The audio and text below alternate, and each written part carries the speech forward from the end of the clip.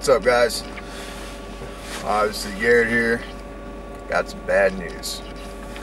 I hurt my ankle again.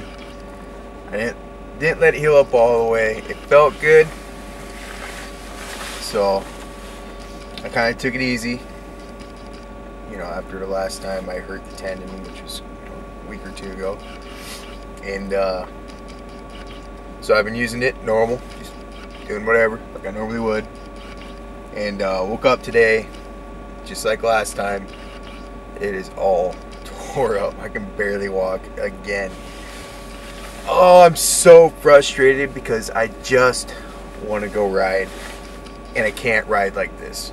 So I'm getting ready to go into the next town over and uh, go to Walgreens and see if hopefully I'm just hoping that they will have like something like a thin brace for my ankle that'll lock it in place and I can be able to anyways so I'm looking for a thin brace that I can put on my ankle and basically lock it in place for while I'm riding because I just there's just no way. My ankle moves like even when it's not moving, I get this burning sensation in my ankle. But if it moves, it hurts so bad, and uh, I'm pretty much hobbling around. Now I'm babbling. So pretty much, I asked around on Facebook, a couple like sledders and AK snow shredders, stuff like that. You get your usual, put some duct tape on it responses, which hell yeah, if I have to, that might happen. And then I had some other people saying stuff like Aircast, which if I can find one that's small enough that I can put a boot on with it, I'm for it. But if not, I'm going to stick to trying to find a thin plastic brace that'll literally just hold my ankle in place so it doesn't move.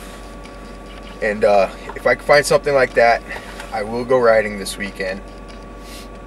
And I probably won't do anything crazy.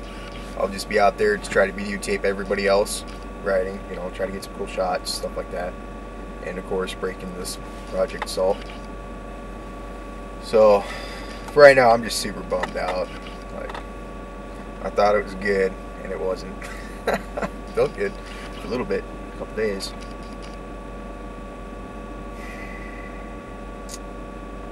So yeah, I think that's pretty much going to be the video for today. It's just a little update the ankles toast. And, uh, yep, I hope you guys are having a better day than me. Peace.